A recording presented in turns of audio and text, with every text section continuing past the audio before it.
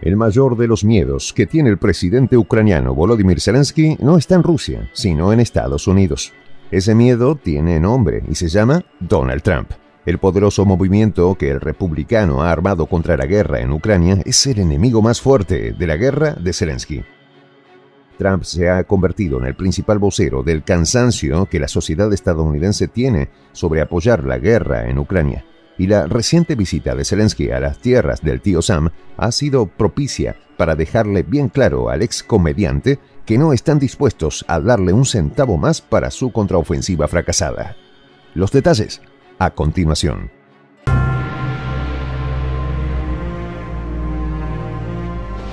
Voz de la Patria Grande. Donald Trump ha dicho en reiteradas oportunidades que él daría solución al conflicto en Ucrania en solo 24 horas. La oferta del magnate republicano tiene que ver con el retiro inmediato del apoyo a la guerra y la necesidad de apoyar por una mesa de negociaciones. En el discurso del expresidente estadounidense y aspirante a volver a la Casa Blanca, se recoge el espíritu creciente que rechaza el despilfarro que ha tenido el gobierno de Joe Biden al enviar cientos de miles de millones de dólares en armas y apoyo financiero a Ucrania. Este movimiento liderado por el precandidato republicano tiene un profundo eco en el Congreso, que está dominado por este partido político. Allí los aliados políticos de Trump están decididos a cortar el chorro de dinero para la guerra en Ucrania, incluso antes de que lleguen las elecciones de 2024.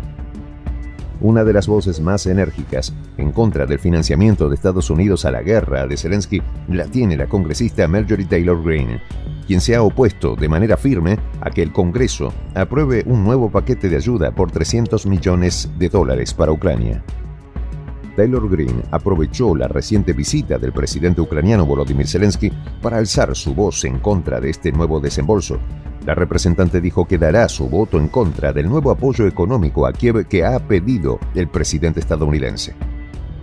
Pero la republicana fue más allá y siguiendo la misma línea que ha expresado el expresidente Donald Trump, dijo que nunca ha votado en favor de enviar un solo centavo a Ucrania. Según dijo, esta postura sigue aumentando entre los republicanos en el Congreso. A Marjorie Taylor Greene no le cae nada bien al presidente ucraniano. En varias ocasiones lo ha acusado de aprovecharse de la situación para favorecerse y hasta se ha burlado de su acostumbrada camiseta verde con la que va haciendo propaganda en favor de su lucrativa guerra. Incluso la congresista ha sugerido que con los dotes actorales que tiene el ex comediante ucraniano, ejerce una fuerte manipulación sobre el presidente estadounidense Joe Biden, al que según ella Zelensky le dice lo que debe hacer. Donald Trump ha expresado que solo él, como líder de Estados Unidos, tiene la capacidad de reunir al presidente ruso Vladimir Putin y al mandatario ucraniano Volodymyr Zelensky para llegar a un acuerdo y detener la guerra inmediatamente. Aunque no ha dado detalles de lo que haría para negociar la paz en Ucrania, Trump ha dicho que haría un trato justo para todos, de forma que las partes en conflicto obtengan beneficios según sus peticiones y también esté acorde con las necesidades de la región. La postura de Trump es secundada por la mayoría republicana en el Congreso, que se está inclinando con mucha fuerza a una salida negociada. Marjorie Taylor Greene sostiene que la única posición de Estados Unidos sobre Ucrania debería ser impulsar la paz. Este sentimiento ha venido tomando impulso y ya no solo está presente en la Cámara de Representantes, que es el sector más conservador donde los republicanos hacen mayoría. Hoy también se siente el rechazo al financiamiento de la guerra entre sectores moderados. La congresista estadounidense Lisa McClain ha mostrado también su preocupación por el enorme gasto que su país ha puesto en manos de Ucrania y se ha sumado al rechazo de la financiación adicional que ha solicitado el presidente Biden. La preocupación adicional que tienen los republicanos es que para finales de septiembre el Congreso votará para financiar temporalmente al gobierno y evitar un cierre que lleve a la suspensión de servicios públicos. Ello compite con la aprobación de una nueva ayuda a Ucrania. En esa misma línea, el presidente de la Cámara de Representantes, Kevin McCarthy, prometió que iba a dejar de emitir cheques en blanco a Ucrania y aseguró que está tratando de separar la ayuda para Kiev del proyecto de ley de gastos. Como él, muchos republicanos consideran que la actual contraofensiva ucraniana está dando escasos resultados a un alto costo. Esta situación conduce irremediablemente a la opinión de que una mayor ayuda a Ucrania sería malgastar el dinero. Zelensky llega a Estados Unidos, igual que ha llegado las veces anteriores, con las manos vacías y con nada que aportar. Su imagen de líder exitoso y valiente, que había pintado Occidente sobre el presidente ucraniano, se ha diluido en el tiempo gracias a sus fracasos, su mal manejo de la guerra y la corrupción de sus funcionarios. Al mandatario ucraniano le preocupa el rechazo que los republicanos vienen teniendo en contra de financiar la guerra en Ucrania.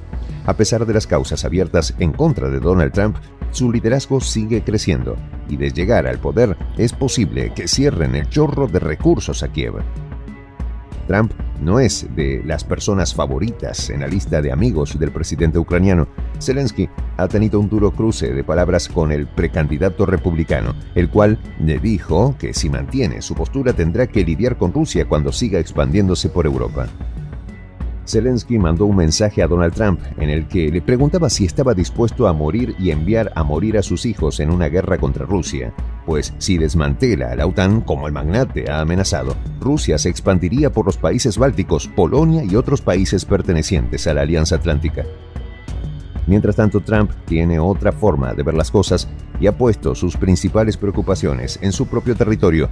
En sus duras críticas contra el gobierno de Joe Biden, ha dejado conocer su temor de que el presidente conduzca al mundo a una tercera guerra mundial. Para Trump, la guerra en Ucrania es un asunto ajeno y secundario que se podría solucionar fácilmente negociando con las personas adecuadas. El problema que ve el republicano es que el gobierno dirigido por Biden está dirigido por un hombre que no tiene idea de lo que está pasando. A finales de septiembre, el Congreso de Estados Unidos votará si aprueba o no el nuevo lote de ayuda a Ucrania. Aunque triunfe la oposición de seguir financiando la guerra, el sentimiento contra el gobierno de Zelensky sigue aumentando irremediablemente.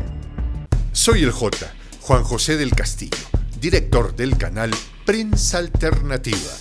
Si quieres ser parte de la comunidad de la Patria Grande, suscríbete a nuestro canal. Si es que quieres que te lleguen las notificaciones cada vez que subimos un video, activa la campanita. Si quieres apoyar a nuestro canal económicamente, puedes hacerlo a través de PayPal. El enlace está en la descripción del video. A nombre del equipo de prensa alternativa, me despido con esta expresión en el quechua milenario, Tupananchis Kama, cuya traducción es hasta volvernos a encontrar.